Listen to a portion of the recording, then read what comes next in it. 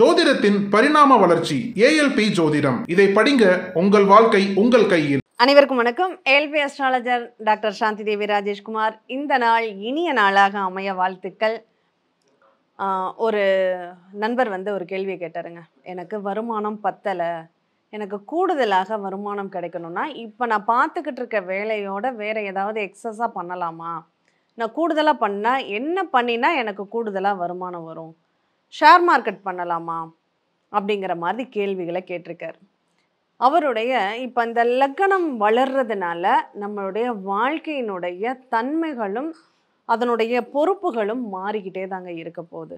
அட்சய லக்ன பத்ததி அப்படிங்கிறது உங்கள் வயதுக்கு ஏற்ற லக்னம் மாறும். இதுக்கு முன்னாடி அவருடைய லக்னம் மிதுன லக்னமாக போய்கிட்டு இருந்தது. இந்த மிதுன லக்னம் புனர்பூச நட்சத்திரத்தில் செல்லக்கூடிய அந்த மூன்று வருட காலகட்டங்கள் ஜாதகர் ஒரு பீ தீராத பிரச்சனைக்குள்ளே தான் சிக்கிட்டு இருந்தார் காரணம் என்ன அப்படின்னா அந்த மிதுன லக்னம் போகும்போது அவருக்கு அந்த நட்சத்திர அதிபதி வந்து சாதகமான ஒரு இடத்துல இல்லை. இதுவே கடக லக்னம் வந்ததுக்கப்புறம் அந்த லக்னத்தை இயக்கக்கூடிய கிரகங்கள் வந்து சாதகமான ஒரு அமைப்பில் இருக்குது அதனால் அவங்க இந்த கேள்வியை கேட்குறாங்க அடுத்து என்ன பண்ணணும்னு. அடுத்து அவங்களுடைய வருமானம் அப்படின்னு பார்க்கும்போது சூரிய பகவான் அவருக்கு எந்த அமைப்பில் இருக்காரு அப்படிங்கிறத வச்சு தான் அவருக்கு அடுத்தடுத்த தொழில்கள் சாதகமாக இருக்குமா? என்ன மாதிரியான பலன்களே அது தரக்கூடியதாக இருக்குது அப்படிங்கிறத நம்ம சொல்ல போகிறோம் இந்த சூரியனுடன் இந்த தொழில் அப்படின்னு பார்க்கும்போது ஒன்றுக்கும் மேற்பட்ட தொழில்களில் இருந்து வருமானங்கள் கிடைக்கணும்னா நம்மளுடைய வருமானம் அப்படிங்கிறத இரண்டாம் பாவகத்தில் பல கிரகங்கள் சப்போர்ட் பண்ணணும். அந்த கிரகங்கள் சப்போர்ட் பண்ணும்போது தான் அந்த தொழில் அப்படிங்கிறதும் அதனால் ஏற்படக்கூடிய வருமானம் அப்படிங்கிறதும் இல்லை வேறு இன்கம் மூலியமாக கமிஷன் பேசிக்கில் பண்ணக்கூடியது மூலியமாக வருமானம் வருமா அப்படிங்கிற ஒரு சூழ்நிலைகளையும் நம்ம ஆராயணும் அப்படின்னு சொல்லலாம். ஏன்னா எங்கே இருந்தெல்லாம் ஒரு ஜாதகருக்கு வருமானம்ங்கிறது வரும். இப்போ அவர் பங்கு வர்த்தகத்தில் நான் ஈடுபட்டால் எனக்கு வருமானம் வருமான்னு ஒரு கேள்வியை கேட்டார். அப்போ பங்கு வர்த்தகத்தை தரக்கூடிய பாவகம் என்ன அப்படின்னா அவருடைய கடக லக்னத்திற்கு அஞ்சாவது வீடு தாங்க பங்கு வர்த்தகம். அந்த அஞ்சாம் பாவகத்தின் அதிபதி செவ்வாய் வந்து நல்ல இடத்துல இருக்கணும். ஒன்று வருமானத்தை அதிலிருந்து வருமானம் பெற பெறக்கூடிய அந்த சூரியனும் நல்ல இடத்துல இருக்காங்கன்னா அவருக்கு பங்கு வர்த்தகத்தில் நல்ல ஒரு நன்மைகளும் மேன்மைகளும் கிடைக்கும். ஆனால் இங்கே செவ்வாய் என்ன பண்ணுறாரு அவருடைய ஜாதகத்தில் அஞ்சாம் இடத்திற்கு பன்னெண்டில் இருக்கார். அப்போ அந்த பங்கு வர்த்தகம் அவருக்கு விரயமாகும் அப்படிங்கிற ஒரு சூழ்நிலைகளை இங்கே உருவாக்குது. அப்போ என்ன பண்ணணும்? இவர் பங்கு வர்த்தக பக்கம் போகலாமா? போகக்கூடாது. ஷேர் மார்க்கெட் அவருக்கு அவ்வளோ சிறப்புக்குரியதாக இல்லை. வேற என்ன பண்ணலாம்? ரெண்டாம் இடம் அப்படிங்கிறது சூரியனுடைய வீடாக இருக்கிறதுனால. இந்த கடக லக்னம் அச்சய லக்னம் செல்லக்கூடியவங்க வாயை வச்சு வருமானம் பார்க்கலாம். ஏன்னா வாக்கு திறமை பேச்சு திறமை அப்படிங்கிறது அவங்களுக்கு ரொம்பவே நல்லா இருக்குது அப்படிங்கிறதுனால பேசுவதன் மூலம் உபதேசம் செய்வதன் மூலம் கற்றல் மூலம் கற்றுக் கொடுப்பதன் மூலம் அவங்களுக்கு வருமானம் நல்லா இருக்குமா? அல்லது டீச்சிங் பண்ணக்கூடிய இடத்துல அவங்க வேலை செய்கிறாங்க அப்படின்னா அவங்களுக்கு அது சாதகமான பலன்களை ஏற்படுத்தும் அப்படின்னு சொல்லலாம். அடுத்து இந்த சூரியனுடைய இந்த வீட்டை சிம்ம வீட்டை யாரெல்லாம் தொடர்பு பெறுகிறார்களோ எந்த கிரகங்கள்லாம் பார்க்குதோ அது சார்ந்த வருமானங்கள் அப்படிங்கிறது ஒருத்தருக்கு உண்டுங்க. இப்போ உதாரணத்துக்கு இந்த ரெண்டாம் இடத்த இந்த செவ்வாய் பார்க்குறாரு அப்படின்னா அஞ்சாம் பாவகத்தினுடைய அந்த இயல்பு கொஞ்சம் ஆக்டிவேட் ஆகும். ஆனால் இவர் செவ்வாய் பன்னெண்டில் இல்லாமல் வேறு இடத்துல இருந்து பார்க்குறாரு அப்படின்னா அவருக்கு அந்த ஷேர் மார்க்கெட் மூலயமா லாபங்கள் வருமா வருமானம் வருமா கண்டிப்பாக வரும்னு சொல்லலாம். ஆனால் அந்த செவ்வாய் வந்து நாளில் இருக்கிறதுனால அவருக்கு அவ்வளோவா எதிர்பார்க்குற அளவுக்கு யோகம் இல்லை அப்படின்னு சொல்லலாம். அடுத்து இந்த ரெண்டாம் இடத்தை வேறு எந்த கிரகங்கள் பார்க்குது அப்படிங்கிறத தெரிஞ்சுக்கணும்.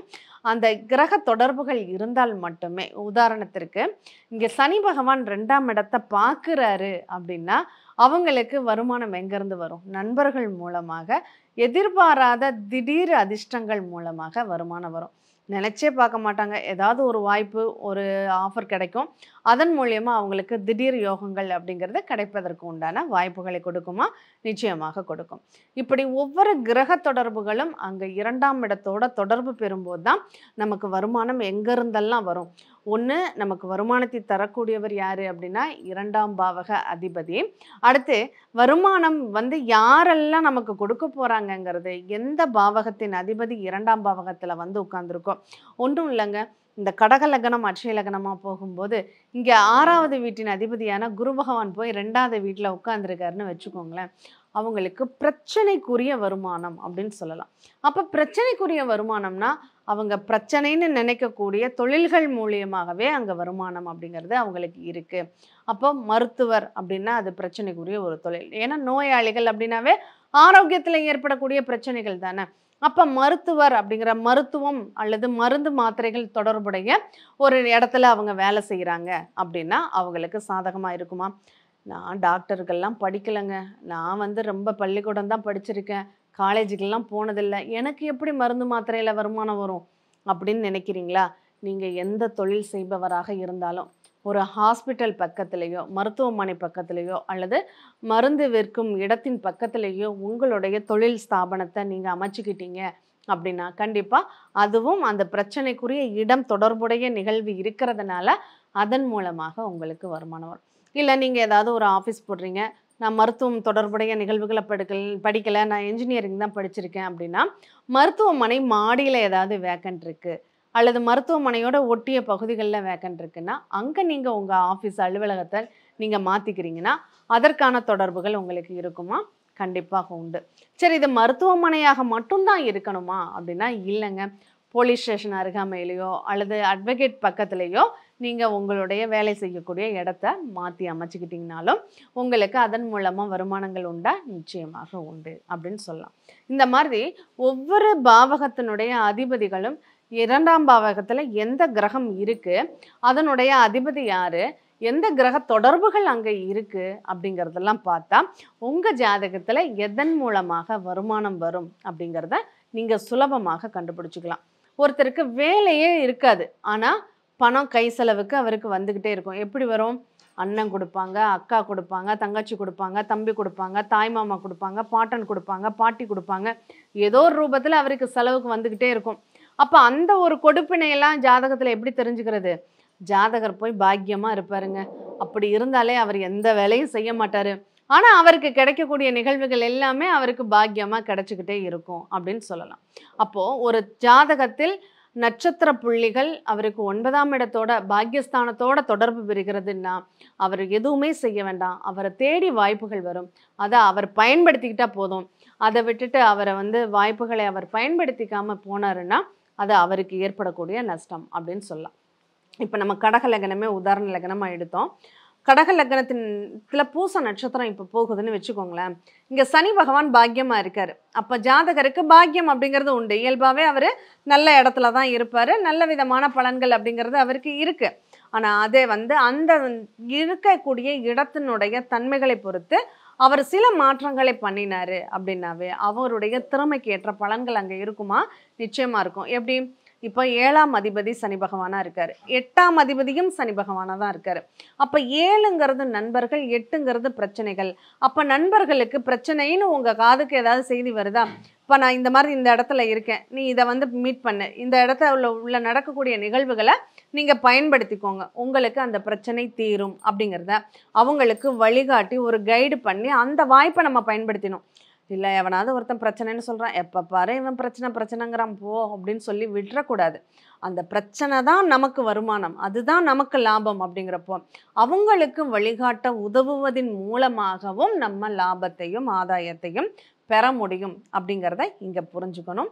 அதனால் வருமானம் அப்படிங்கிறது எக்ஸஸாக உள்ள வருமானங்கிறது ரெண்டாம் பாவம் அதனுடைய அதிபதி நிற்கக்கூடிய இடம் ரெண்டாம் பாவத்தை பார்க்கக்கூடிய இடம் இது சார்ந்த நிகழ்வுகள் மூலமாக வருமானம் வரும்.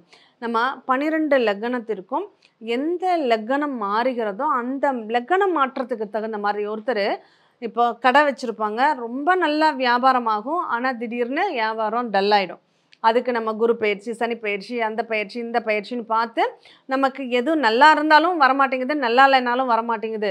சரி இப்போ குரு நல்லா இல்லை அடுத்து குரு மாறிடுவார் அதுக்கப்புறம் நல்லா இருக்குன்னு சொல்லுவாங்க. ஆனால் அப்பவும் நல்லா இருக்காது. அப்போ என்ன காரணம் சொல்லுவாங்க?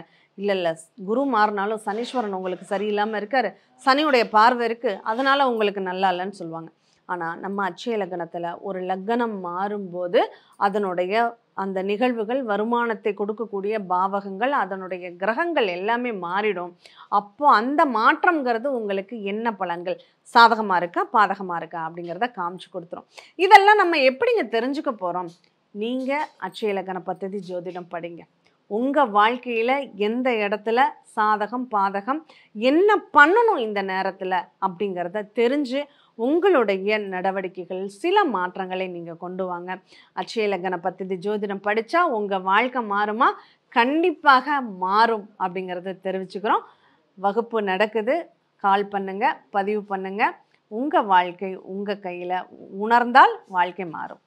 நன்றி.